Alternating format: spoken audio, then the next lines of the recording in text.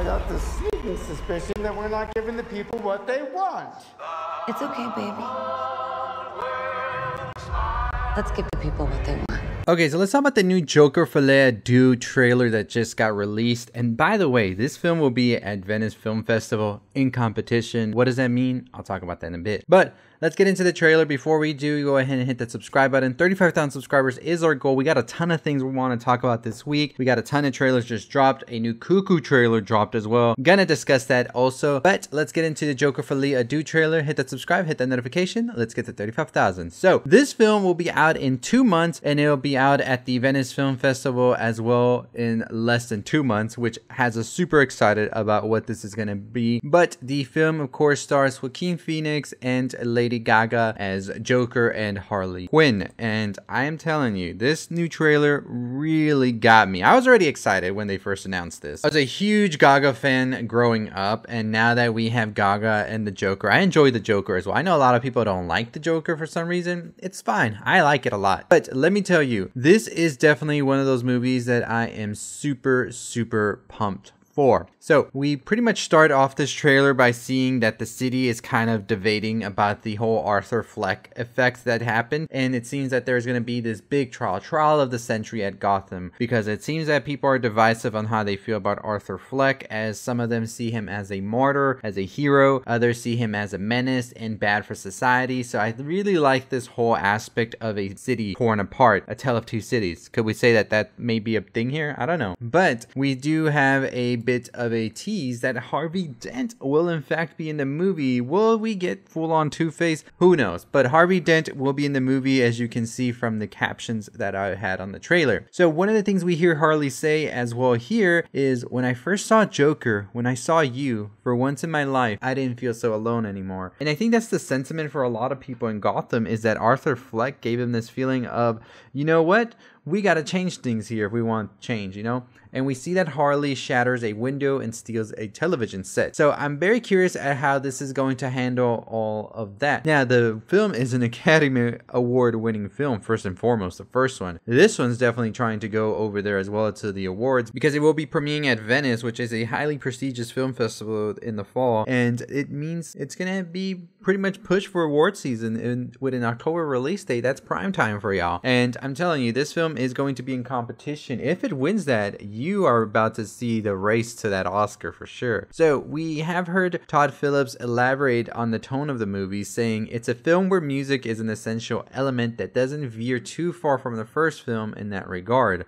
Arthur Fleck is weird and aloof and all these things, but he has music in him. He has grace to him. That informed a lot of the dancing in the first film. It didn't feel like a big step here. It's different, but I think it'll make sense when you see it. And we do see that Joaquin is belting some notes here as well, which I am telling you makes me more excited to see what exactly we're going to get from this performance here. And Gaga herself is really pushing, I think, a very interesting interpretation of Harley Quinn. We've already heard Margot Robbie excited to see what Lady Gaga will bring to this as well. It looks like a lot of the things that I've said before in my first trailer breakdown, where we have reality, we have fiction, are going to be played around with a lot as we see some scenarios that I just don't think would happen in real life before they would be taken down. I like this aspect where the Joker's also running away from these other Jokers. But honestly, I really do love the cinematography the most here. There is just something so beautifully crafted in these images. I'm gushing. Maybe you don't like it as much. And that's interesting to me. So let me know what you think about this movie if you're excited for it or not because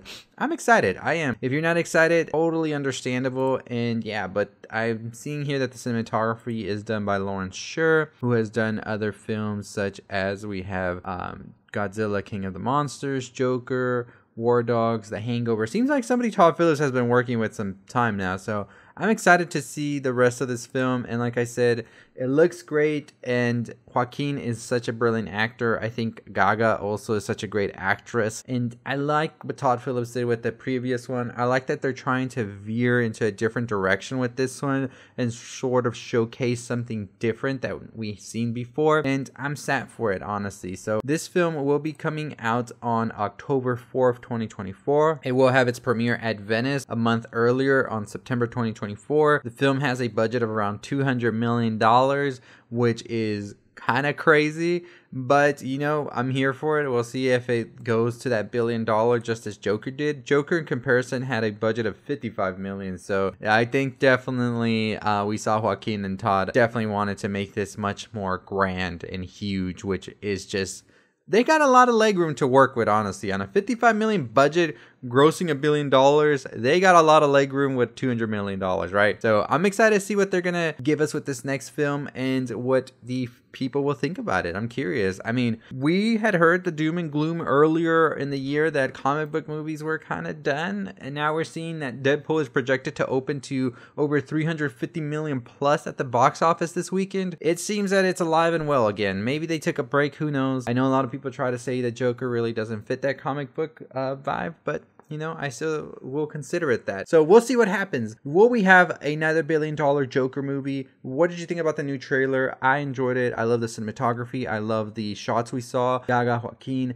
I think they're going to be great. And I really do think that them releasing this at Venice just means that they know they're going on that Oscar run. So Anyways, drop your thoughts, drop your opinions on the trailer, on the movie, on the first movie. Did you like it? Did you hate it? Are you going to watch this? Or are you just like, I, I don't care. I just don't care. Let me know in the comments down below. And we will have some more talks about this film once it probably gets closer to Venice, the first reactions, as well as our theories on what could be happening here. So stay tuned for that. This week, stay tuned. We have some videos on Trap. That movie will be releasing next week. We have our theories and opinions about it. So that will be coming out this week. I do have my video on Cuckoo as well coming out today. So stay tuned. The newest trailer just dropped. And I will tell you, watch that trailer. Don't watch the other trailers. That is a trailer to watch. That is a trailer that will get you excited and won't really give away too much of the film, I think. So definitely very excited for all of this new announcements coming. San Diego Comic Con is this weekend. We will have a ton of things to cover for that. So make sure you got it locked in here. Make sure you subscribe, all that good stuff. And as always, stay safe, stay positive. 35,000 subscribers, y'all. That's our big goal for the end of the month. We have less than a week to get to that. And I think we can get close. We probably won't get to 35,000, but I think we can get close. As always, see you later. Stay safe, stay positive. For once in my life, I didn't feel so alone anymore.